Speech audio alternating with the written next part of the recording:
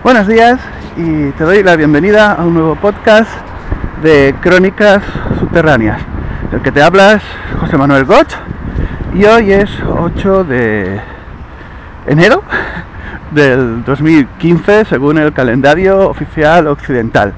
Te hablo mientras camino por la calle, así que supongo que de fondo se pueden escuchar los coches y algo de viento quizás, pero es lo que hay para aprovechar el tiempo. Acabo de depositar a los niños ah, en su primer día de programación estudiantil del 2015 y bueno, eh, hoy pues eh, toca actualidad actualidad, eh, acabo de leer en La Vanguardia, golpe yihadista en Europa. de verdad, quizás hay más de lo que aparentan las cosas y esto es de lo que voy a hablar, pero antes, por supuesto, un mensaje de nuestro patrocinador con su encantadora voz femenina virtual. Las previsiones para este año indican que los ricos seguirán haciéndose más ricos y los pobres más pobres. Sobre todo, los que más sufrirán son los trabajadores con nómina. El concepto de un trabajo seguro quedó ya en el pasado. Pero todavía nos queda una puerta trasera, y es el oro. Por eso recomiendo los pequeños lingotes de 1.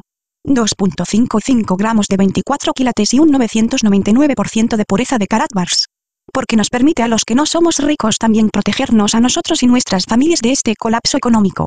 Entra en www.oroparatodos.org, repito, www.oroparatodos.org, y mira por ti mismo lo que te estoy diciendo. Ahora tienes ya la posibilidad de protegerte con oro. Y además, si lo deseas, puedes ser afiliado y aprovecharte de las comisiones que da Karatbars por recomendarlo, comisiones que pueden ser importantes y llevarte a conseguir tu libertad financiera. No lo dudes un instante, entra ahora mismo en www.oroparatodos.org, repito, www.oroparatodos.org, y descubre cómo protegerte del colapso económico que tenemos encima. www.oroparatodos.org. El oro por fin al alcance de todos los bolsillos. Pues bien, espero que hayas tomado nota de, de la dirección web de nuestro patrocinador y vamos a ver eh, sobre el asunto que ahora mismo tiene a toda Europa consternada, entre comillas.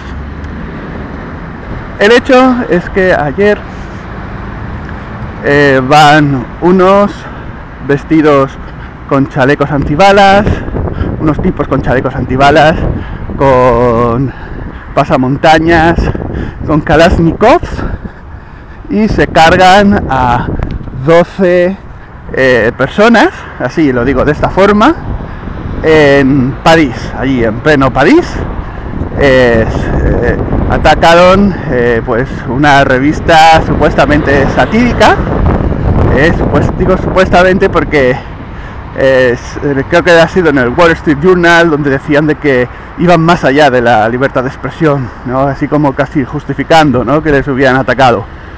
Pero el hecho es que este ataque, eh, también, bueno, murieron un par de policías parece ser y, habían además de 12 muertos, pues 8 heridos, 4 críticos o no sé si habrá habido algún fallecimiento más en estas horas porque no, no lo he podido mirar. Pero bueno, el caso es que ha sido un ataque atroz, pero no ha sido el típico atentado ¿no? terrorista al que estábamos acostumbrados, ¿no? Ha sido una operación de comandos.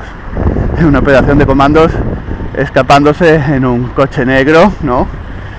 Y, pero sí, porque, a ver, eh, no es, pese a que ayer Liberación, Liberación, ¿no? Decía que habían detenido a dos hermanos en no sé dónde, de alrededores de París o estas cosas. A ver, que en un barrio así eh, de clases bajas, eh, que es donde están eh, la mayoría de musulmanes en Francia, la gente no puede, no tiene dinero para comprarse estos Kalashnikovs, ¿vale? Ni, o sea, el dinero se utiliza para otras cosas, como comer y, y pagarse un entrenamiento, porque ya que han repetido mil veces las imágenes del asesinato del policía ahí en el suelo, como lo rematan, a ver quién puede ir con un Kalashnikov así y disparar mientras estás corriendo y, acertar. ¿eh? Yo no sabría, bueno, más que otra cosa porque yo fui insumiso y, y no tengo ni puñetera idea de armas, ¿no? Pero aquí hay gato, gato encerrado, pero realmente tenemos dos posibilidades. Una, apesta a Gladio. A Gladio, para quien no lo sepa, Gladio fue una operación de las agencias occidentales que estuvo activa desde finales de la Segunda Guerra Mundial hasta, bueno, oficialmente hasta que Sandro Pertini creo que fue, o, o no sé si fue Pertini o, bueno, un primer ministro o presidente de estos italianos que tuvo que salir al Parlamento italiano en 1990, en 1990 a explicarlo. A explicar que en realidad había habido una operación secreta y ya estaba todo descubierto. En la operación Gladio, por ejemplo, lo que se trataba era de culpar a una supuesta extrema izquierda de atentados terroristas, sobre todo en Italia, aunque también hubieron atentados en Alemania, en Bélgica, Holanda, Francia. ¿eh? La idea era eh, proteger a Europa del supuesto comunismo. Y bueno, todo salió a la luz, todo se descubrió, que en realidad, por ejemplo, el asesinato de Aldo Modo en Italia había sido parte de la operación Gladio. Y, y aquí tendría sospechas de que en España lo que se llamó ETA podría haber sido formado parte también de esta operación, pero no lo puedo asegurar, porque está claro que todo país necesita un enemigo interno, unos separatistas, unos comunistas, unos anarquistas, de estos terroristas, ¿no? La palabra siempre se utiliza la palabra terrorismo para cualquier cosa. Así pues, eh, da las pintas de que esto podría haber sido un ataque gladio del siglo XXI. Ahora mismo lo que eran los comunistas del siglo XX son los yihadistas del siglo XXI. Y eh, al igual que los comunistas fueron financiados por la élite financiera en el siglo XX, los llamados islamistas, yihadistas o como se les quiera llamar ahora, eh, son financiados por los mismos. Porque eh, ayer, por ejemplo, en una publicación de un blog llamado Land Destroyer, se hizo un, este blog hizo un repaso de todos, todos eh, las noticias que aparecían de los últimos años, donde se hablaba que Francia había estado financiando a los radicales en las guerras de Siria, Libia, bueno, toda esta zona, ¿no? Desde donde supuestamente podrían haber venido los, los que cometieron el atentado de ayer. Pero esa sería la segunda parte, no. Lo que tiene que ver con la Operación Gladio es que esta gente entrenada podrían ser sencillamente eh, agentes de los servicios especiales encubiertos, que entonces, claro, por ejemplo, tienen que cargarse policías para que todo aparente, ¿no? Que es eh, un ataque de falsa bandera, se llamaría. Esto por una parte, podría, es que apesta a Gladio. Por otra parte es lo, que acabo de mencionar, esto de las armas. Es muy sencillo. Tú dale armas a tus enemigos, dale oportunidades y motivos que ellos te causarán el atentado. Es que lo hagas o no lo hagas. Además, en otra web llamada Sorcha Fal, bueno, eh, que supuestamente hablan de están metidos en el servicio secreto ruso, habla de informes de que Arabia Saudí estaba detrás, porque este atentado tenía que ver con la lucha por el poder en, Arabia Saudí. Esta sería la dentro de esta segunda eh, de esta segunda parte de que quizás sí podrían haber sido eh, islamistas entrenados, pero ya digo que si les das las armas, les das la oportunidad, ¿qué esperas, no? Y bueno, estos dicen que eh, los servicios secretos estadounidenses y los servicios secretos franceses, el ministro de, Defensa francés, creo que se refería, eh, ya sabían que iba a haber este atentado especialmente y no hicieron nada para que ocurriera. es muy significativo que poco tiempo después de, del ataque apareciera en los medios de información la primera comparecencia de François Hollande, o François Hollande, creo que se pronunciaría mejor en francés, pues eh, apareció diciendo eh, que, creo que si no recuerdo mal, eh, dijo algo así como c'est un attaque terroriste sans aucun doute, que eso significa es un ataque terrorista sin ninguna duda. No ha habido ninguna investigación policial, absolutamente ninguna.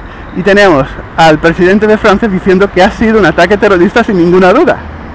Eh, guion preparado. Luego, por la noche, cuando apareció la comparecencia oficial televisiva, a las 8 de la noche para toda Francia en televisión, el presidente Hollande eh, afirmó las típicas palabras del guion. Francia unida, duelo nacional y todo ese tipo de cosas. Así que por aquí sea un ataque preparado de verdad eh, islamista pero con la oportunidad dada o sea una operación Gladio. Eh, está claro que, es que tiene toda la apariencia de que haya un guion por detrás. Por supuesto eh, aquí todo está todo está relacionado. Porque pese a que fue, fue muy curioso, ¿no? Escuchar, a, bueno, ayer me puse la, televisión France, eh, como lo llaman, Bancat. O Francia 24, la televisión internacional del gobierno francés, y fue muy curioso ver al John Kerry, a este señor de School and Bones, hablar en francés tan consternado, y hablando sobre la libertad de expresión, eh, la justicia y todo este tipo de cosas. Este señor y también el, presidente Hollande eh, hablar de los mismos temas, estos señores que son en realidad criminales, porque son eh, parte del grupo culpable de la represión y asesinato de miles de personas actualmente en el mundo.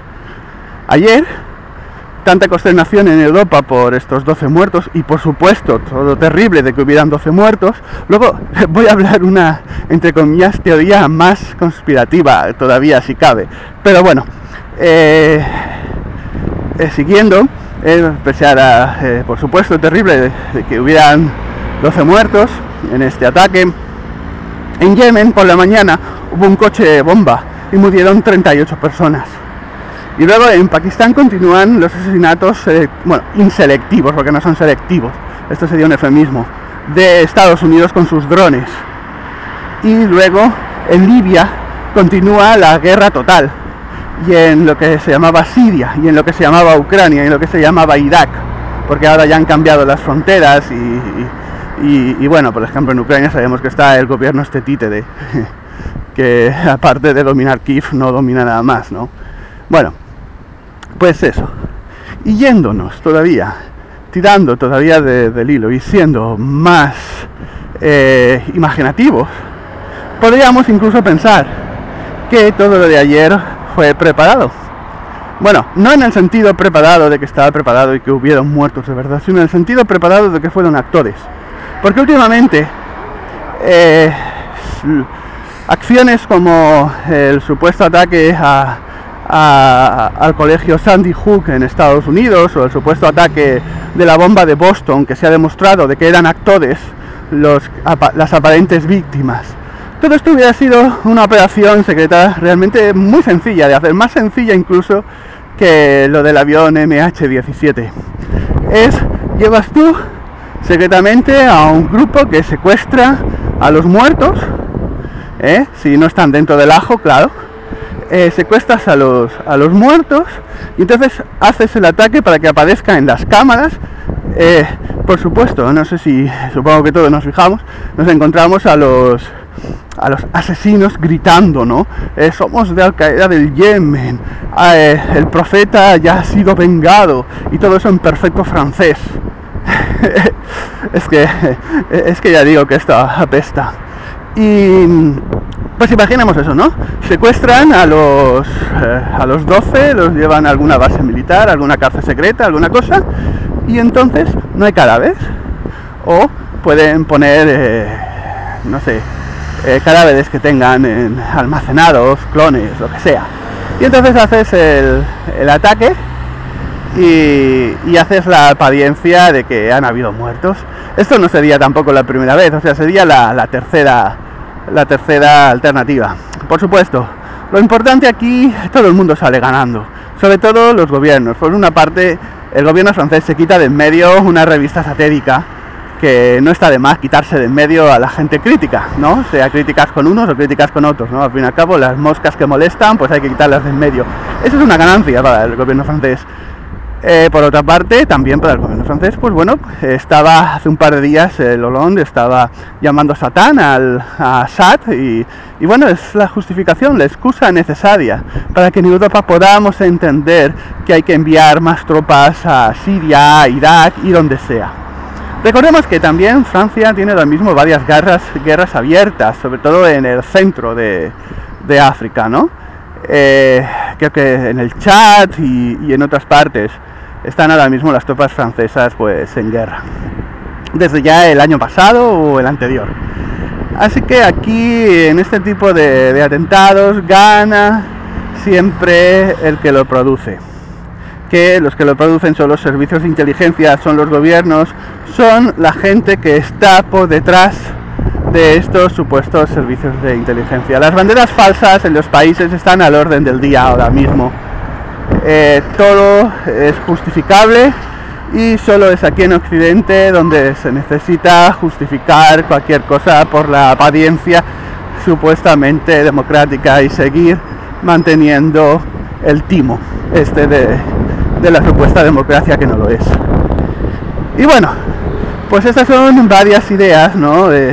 Pero yo lo que estoy convencido de que sea una alternativa, sea la alternativa de que son yihadistas de verdad, o sea, la alternativa de, la, de los servicios eh, secretos de Gladio, o sea, la alternativa de los propios servicios secretos franceses haciendo esto de desaparecer los cadáveres, sea una u otra, está claro que esto apesta a bandera falsa y apesta a acontecimiento necesario para continuar con la agenda criminal de los gobiernos y los que están por detrás.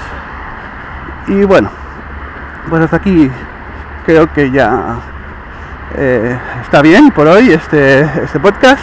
Un podcast que voy a subir solo a Evox, ya no subiré más a SoundCloud. Y también eh, lo publicaré en, la nueva, el nuevo sitio de Crónicas Subterráneas que es cronsub.wordpress.com. Eh, te ha hablado José Manuel Gott y pues hasta el siguiente podcast. Que te vaya bien.